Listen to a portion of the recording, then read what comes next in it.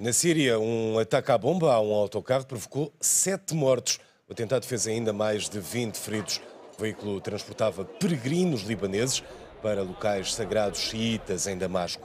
Outra bomba foi encontrada perto do veículo e desativada pelas forças de segurança. Uma célula da Al-Qaeda na Síria reivindicou o atentado e acusa os passageiros de serem combatentes do Hezbollah.